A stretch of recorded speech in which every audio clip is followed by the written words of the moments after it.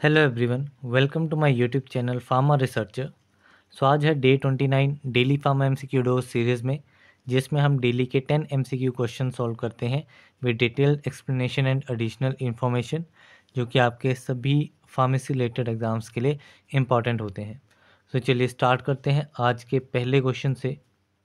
तो so, पहला question है अ नेचुरली अकरिंग कार्बोनेटिव तो नेचुरली अक्रिंग कार्बोनेटिव कौन सा ड्रग है इनमें से? सो इट इज़ एसाफोइटीडा जिसे डेविल्स टंग या फिर हींग भी कहा जाता है। ये आपका यूज़ होता है एज ए कार्बोनेटिव कार्बोनेटिव के अलावा एसाफोइटीडा जो है, इसके अदर यूजेस में अगर मैं बात करूँ तो it is use as a nervine stimulant it is use in intestinal flatulence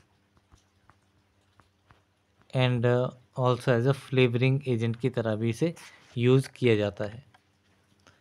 इसके अलावा मैं अदर ऑप्शंस की बात करूँ, जैसे आपका आ गया अशोका। तो अशोका जो है, वो आपका यूटराइन टॉनिक है। इट इज़ यूटराइन टॉनिक और it is also use as sedative and एक इसका यूज़ है ऑक्सीटॉकिक एक तो हम एरगेट ड्रग पढ़ते हैं जो कि आपका ऑक्सीटॉकिक होता है। उसके अलावा अशोका भी आपका ऑक्सीटॉकिक प्रॉपर्टीज़ कंटेन करता है। देन बात करूँ अर्जुना की सो अर्जुना जो है वो आपका as a diuretic drug की तरह यूज़ होता है। इसके ऊपर काफ़ी बार क्वेश्चन पूछा जाता है। डायूरेटिक एक तो आपका गोखरू। गोखरू के ऊपर काफ़ी बार क्वेश्चन बनता है कि गोखरू भी आपका डायूरेटिक है। And Arjuna is also diuretic and Arjuna जो है वो एज एन एस्ट्रिंजेंट भी यूज़ किया जाता है। देन बात करूँ अगार की। सो so, अगार जो है वो आपका यूज़ होता है एज ए न्यूट्रिएंट मीडिया की तरह इसे यूज़ किया जाता है। जो भी आपके बैक्टीरियल कल्चर्स होते हैं बैक्टीरियल कल्चर्स में एज ए न्यूट्रिएंट मीडिया की तरह यूज़ होता है। क्रॉनिक कॉन्स्टिपेशन में इसका यूज़ किया जाता है। एज अ लेग्जेटिव ये यूज़ होता है। एज एन इमल्सिफाइंग एजेंट की तरह भी एक्ट करता है। And as a gelating agent तो ये इसके डिफरेंट यूजेज हैं अगार के, सारे इंपॉर्टेंट हैं। इमल्सीफाइंग एजेंट एक ज़्यादा इंपॉर्टेंट है। इसके अलावा न्यूट्रिएंट मीडिया की तरह यूज़ होता है। ये दो यूज़ तो आपके मोस्ट इंपॉर्टेंट है अगार के केस में। देन बेसिक इन्फॉर्मेशन एसाफोइटीडा की देख लेते हैं। तो एसाफोइटीडा जो है वो आपका इसे डेविल्स डंग भी कहा जाता है। It is also known as devil's dung and ये आपका एक ओलियोगम रेजिन है। It is a oleogum resin जो कि आपका ऑप्टेंड होता है फेरुला फोइटीडा से। फेरुला फोइटीडा से ऑप्टेंड होता है एंड फेरुला रूबरी कॉलेस ठीक है फेरुला रूबरी कॉलेज से भी ये ऑप्टेन होता है। ये इसका अनदर जो है वो बोटेनिकल नेम है। इसके अलावा जो भी अदर स्पीसीज होती हैं आपकी फेरुला की, वहाँ से भी हींग को जो है वो ऑप्टेन किया जाता है। कौन से पार्ट से ऑप्टेन किया जाता है? इसमें आपका राइजोम्स या फिर रूट्स राइजोम्स एंड रूट्स पे इंसीजन लगा के वहाँ से जो ओलियोगम रेजिन आपको मिलता है, वो आपका होता है ऐसा टीडा देन इसकी फैमिली की बात करूँ सो फैमिली में इसमें आ जाती है अम्बेली फेरे फैमिली एम्बेली फेरे फैमिली देन केमिकल कंस्टेंट्स की बात करूँ सो केमिकल कंस्टेंट में इसमें आपका रेजिन भी प्रेजेंट होता है, जो कि आपका 40 टू 65 परसेंट क्वान्टिटी में होता है। गम भी इसमें प्रेजेंट होता है, जो कि 20 से 25 परसेंट रहता है। देन आपका वोलेटाइल ऑयल जो है, वो भी आपका रहता है, जो कि आपका चार से बीस परसेंट रहता है। इसके अलावा इसका जो मेन केमिकल कंस्टेंट है, वो आपका होता है एरा रेजिनोटेनोल एरा रेजिनोटेनोल इसका मेन केमिकल कंस्टेंट होता है, जो कि आपका फ्री या फिर कंबाइंड फॉर्म में होता है। कंबाइंड किसके साथ होता है? ये आपका फेरुलिक एसिड के साथ कंबाइंड फॉर्म में होता है। एंड यहाँ पे फेरुलिक एसिड के ऊपर भी काफ़ी बार क्वेश्चन पूछा जाता है। तो फेरुला फेरुलिक एसिड या फिर अम्बेलिक एसिड हो गया या एम्बेली फेरोन हो गया। तो ये तीनों ही आपके किसके केमिकल कंस्टेंट है? एसाफोई टीटा के तो ये कुछ इंपॉर्टेंट पॉइंट एसाफोइटीडा के एंड अदर ऑप्शंस के हमने यूजेज देख लिए। अब हम नेक्स्ट क्वेश्चन पे चलते हैं। नेक्स्ट क्वेश्चन है tropane alkaloids can be identified by तो ट्रोपेन अल्कोलॉइड्स को किस टेस्ट के थ्रू आइडेंटिफाई किया जा सकता है? तो ट्रोपेन अल्कोलॉइड्स के लिए आपका रहता है बिटाली मोरिन टेस्ट सो इसमें ऑप्शन बी जो है वो करेक्ट आंसर है। इसमें जो आपके मेनली ड्रग आ जाते हैं दतूरा के लिए डुवोइसिया एंड हायोसाइमस तो ये कुछ स्पेसिफिक ड्रग हैं जो कि आपके बिटाली मोरिन टेस्ट पॉजिटिव देते हैं। इसके अलावा थेलेक्विन टेस्ट की बात करूँ तो थेलेक्विन टेस्ट जो है, वो आपका किसके लिए होता है? It is for cinchona cinchona that is quinine alkaloid उसके लिए आपका थेलेक्विन टेस्ट रहता है, जिसमें आपका कलर के ऊपर क्वेश्चन बनता है कि कौन सा कलर इसमें यूज़ होता है। मीन्स कौन सा कलर ऑप्टेन होता है इसके केमिकल टेस्ट के थ्रू तो इसमें एम्बराल्ड ग्रीन कलर जो है, वो आपको देखने को मिलता है। जब आपके पाउडर्ड ड्रग को पाउडर्ड सिंकोना ड्रग को ब्रोमीन वाटर और डाइल्यूट अमोनिया सॉल्यूशन के साथ ऐड किया जाता है। सो तब इसमें एमराल्ड ग्रीन कलर जो है, वो शो होता है। इसके अलावा बात करूँ ब्यूरेट टेस्ट की सो ब्यूरेट टेस्ट जो है, वो आपका प्रोटीन्स के लिए जनरल टेस्ट है। It is general test for proteins and इसमें कलर की बात करूँ तो इसमें आपका वायलेट या फिर पिंक कलर आता है जब आपका sodium hydroxide and copper sulphate के साथ इसके ट्रीट किया जाता है। देन बात करूँ मिलियंस टेस्ट की तो मिलियंस टेस्ट जो है, वो आपका टाइरोसिन के लिए होता है। It is specifically for tyrosine जिसमें आपका रेड कलर जो है, वो शो होता है। तो ये कुछ इंपॉर्टेंट टेस्ट अभी नेक्स्ट क्वेश्चन देखते हैं।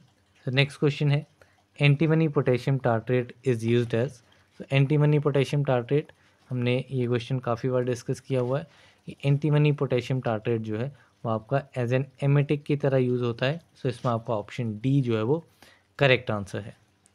इसके अलावा एंटीमनी पोटेशियम टार्ट्रेट के ऊपर एक सिनेनम के ऊपर क्वेश्चन बनता है, जो कि है आपका इसका tartar emetic it is also known as tartar emetic test के ऊपर इसमें क्वेश्चन बनता है तो टेस्ट इसका होता है स्वीट। यूज़ हमने देख लिया, एज एन एमेटिक यूज़ होता है। इसके अलावा एक कंडीशन और है, सचिस्टोसोमियोसिस।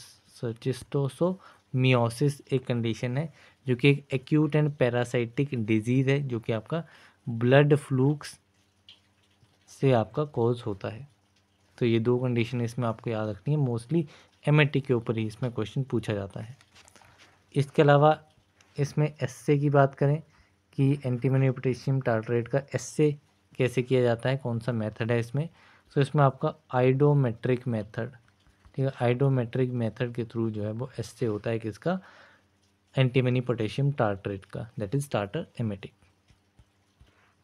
तो अभी नेक्स्ट क्वेश्चन देखते हैं। सो नेक्स्ट क्वेश्चन है action of one drug is facilitated और increase by the other is so किसी एक ड्रग का जो एक्शन है, वो फैसिलिटेट होता है या इंक्रीज होता है किसी दूसरे ड्रग की वजह से तो उस कंडीशन को हम क्या कहते हैं? So it is known as synergism so इसमें आपका ऑप्शन डी जो है वो करेक्ट आंसर है। इसमें बात करूँ अदर ऑप्शन की लाइक आपका आ गया टेकीफाइलेक्सिस तो टेकीफाइलेक्सिस आपका होता है रिपीटेड एडमिनिस्ट्रेशन जो है, अगर ड्रग की की जाए so that result in tachyphylaxis repeated administration then बात करूँ टॉलरेंस की सो टॉलरेंस होता है कि जब आपको कोई रिस्पॉन्स लाने के लिए, ठीक है, किसी ड्रग का रिस्पॉन्स लाने के लिए उसकी नॉर्मल डोज से हाइयर डोज की रिक्वायरमेंट होती है। इसमें क्या होता है? हाइयर डोज की रिक्वायरमेंट रहती है किसके लिए? ड्रग के रिस्पॉन्स को लाने के लिए। सो वो आपका रहता है टॉलरेंस देन बात करूँ इडियोसिनक्रेसी की तो इडियोसिनक्रेसी एक अनटुवर्ड रिएक्शन है किसी भी ड्रग के लिए जो कि ज़्यादा पॉपुलेशन में तो नहीं होता, बहुत ही स्मॉल फ्रैक्शन ऑफ़ पेशेंट में होता है और इसका ड्रग के डोज या फिर ड्यूरेशन ऑफ़ थेरेपी के साथ कोई ओबियस यानी डायरेक्ट रिलेशनशिप जो है वो नहीं होता है, वो आपका आ जाता है इडियोसिनक्रेसी तो ये चार टर्म चारों ही काफ़ी इंपॉर्टेंट है। नेक्स्ट क्वेश्चन है D glucose on simple reduction gives तो डी ग्लूकोज की सिंपल रिडक्शन की जाएगी। तो क्या प्रोडक्ट इसमें हमें मिलेगा? तो डी ग्लूकोज की सिंपल रिडक्शन जो है, उससे हमें प्रोडक्ट मिलेगा सॉर्बिटॉल सो इसमें आपका ऑप्शन बी जो है वो करेक्ट आंसर रहेगा। देन इसके अलावा कुछ अदर मोनोसेक्राइड्स हैं, जिनके रिएक्शन प्रोडक्ट्स के बारे में पता होना चाहिए। तो यहाँ पे हमने देख लिया एक डी ग्लूकोज जो कि आपका ओनली सॉर्बिटोल देगा। इसके अलावा अगर मैं बात करूँ डी गैलेक्टोस की, ठीक डी गैलेक्टोस तो डी गैलेक्टोस में हमें जो प्रोडक्ट मिलेगा वो है आपका डी डोल्सिटोल इसमें प्रोडक्ट आपको मिलेगा reduction product D dulcitol then बात करूँ डी मेनोस की डी मेनोस की तो डी मेनोस में जो आपका रिडक्शन प्रोडक्ट आएगा वो आपका रहेगा ओनली मैनीटोल देन बात करूँ डी फ्रक्टोस की। तो डी फ्रक्टोस जो है, उसमें आपका प्रोडक्ट मिलेगा। Mixture of mannitol and sorbitol इसके अलावा एक और इम्पोर्टेंट मोनोसिक्राइड आता है दैट इज़ डी राइबोस जिसमें आपका प्रोडक्ट मिलता है डी राइबिटोल तो ये कुछ इम्पोर्टेंट रिडक्शन प्रोडक्ट हैं आपके।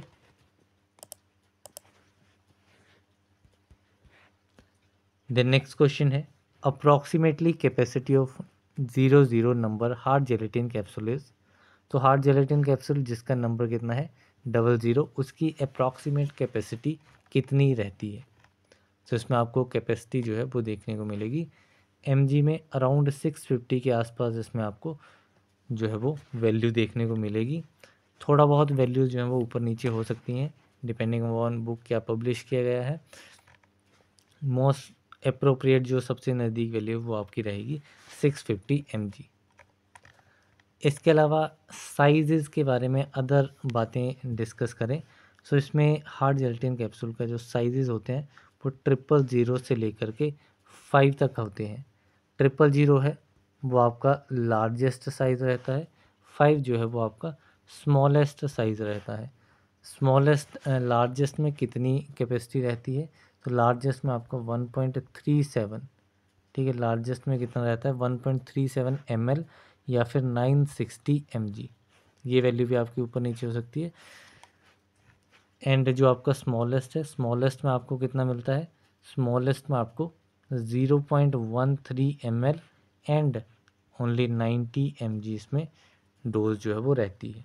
स्मॉलेस्ट के ऊपर आएगा एंड लार्जेस्ट के ऊपर ये भी एक क्वेश्चन बनता है तो ये भी आपको ध्यान रखना है।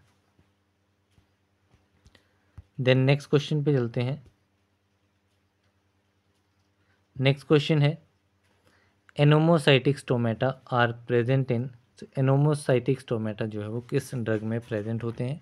So they are present in digitalis digitalis में आपके अनोमोसाइटिक स्टोमेटा प्रेजेंट होते हैं so option C is correct बात करूँ एनोमोसाइटिक स्टोमेटा की सो एनोमोसाइटिक स्टोमेटा को रेननकुलेशियस स्टोमेटा भी कहा जाता है। एंड इसमें आपके जो नंबर ऑफ़ सब्सिडरी सेल्स होते हैं, वो डिफरेंट नंबर्स में होते हैं। लाइक like यहाँ पे आपके दो जो हैं, वो गार्ड सेल्स रहेंगे एंड इसमें जो आपके सब्सिडरी सेल्स होंगे, वो डिफरेंट नंबर्स में हो सकते हैं। मे बी तीन, चार, पाँच जो है वो, इसमें varying number of subsidiary cells जो हैं, वो रहते हैं। देन बात करूँ दतूरा की, दतूरा में आपका एनिसोसाइटिक स्टोमेटा होता है। कौन सा होता है? एनिसोसाइटिक स्टोमेटा एनिसोसाइटिक स्टोमेटा क्या होता है? इसमें आपके तीन सब्सिडरी सेल्स होते हैं। दो इसमें आपके गार्ड सेल आ गए। तीन सब्सिडरी सेल्स होंगे, जिसमें एक सब्सिडरी सेल जो है, वो बाकी दो के मुकाबले छोटा रहेगा तो वो आपका आता है एनिसोसाइटिक स्टोमेटा देन बात करूँ सेना की सो सेना में जो स्टोमेटा होता है डेट इज़ पैरासाइटिक स्टोमेटा इसको रूबिएशियस स्टोमेटा भी कहा जाता है।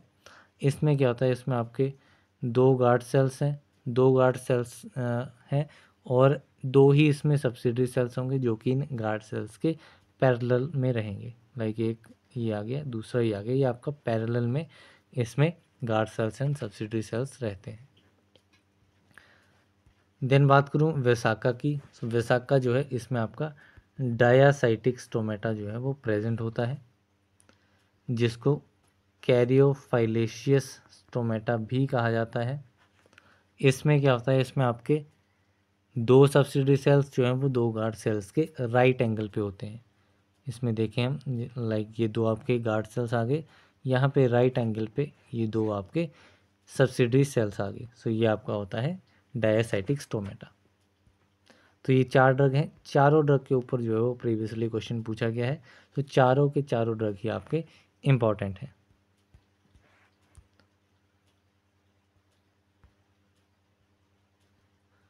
देन नेक्स्ट क्वेश्चन है।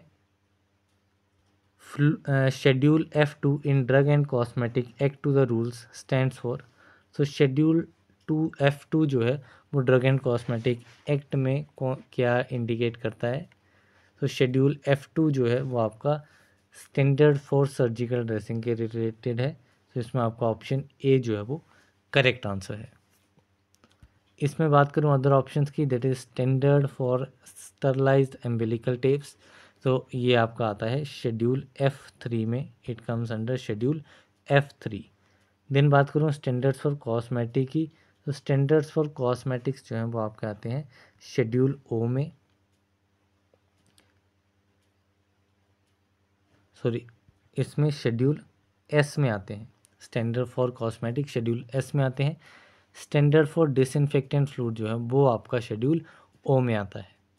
ठीक है, ये आप करेक्ट कर लेना। कॉस्मेटिक्स के आते हैं शेड्यूल एस में एंड डिसइनफेक्टेंट फ्लूड के आते हैं शेड्यूल ओ में।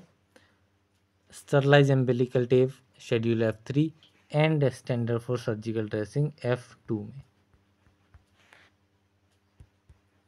तो अभी नेक्स्ट क्वेश्चन देखते हैं।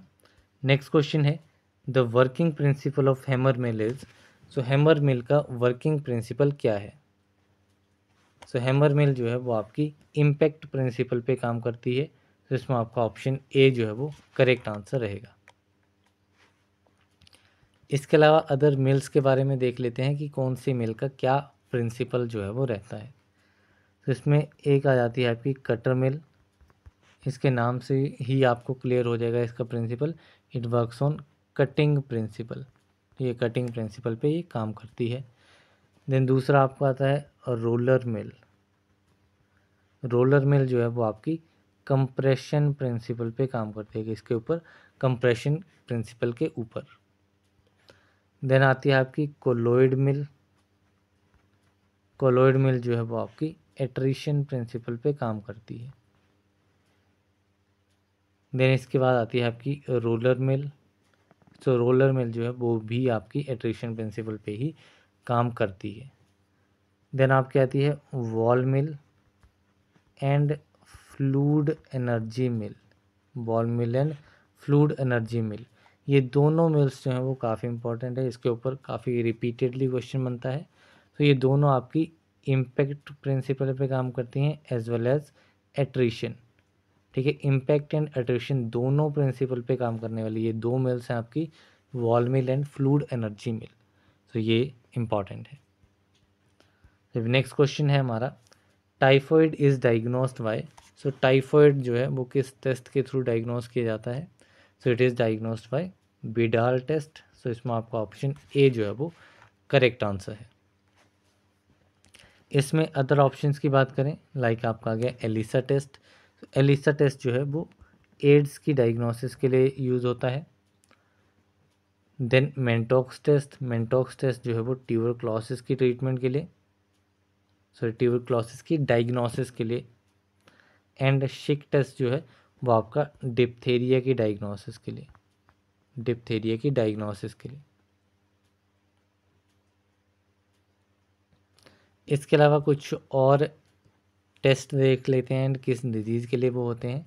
तो इसमें एक आता है आपका डिक टेस्ट डिक टेस्ट जो है वो आपका स्कारलेट फीवर के लिए होता है। It is for scarlet fever then एक इंपॉर्टेंट आपका आता है कूम्स टेस्ट एक टेस्ट है आपका कूम्स टेस्ट जो कि आपका ब्रूसे लॉसेस के लिए होता है।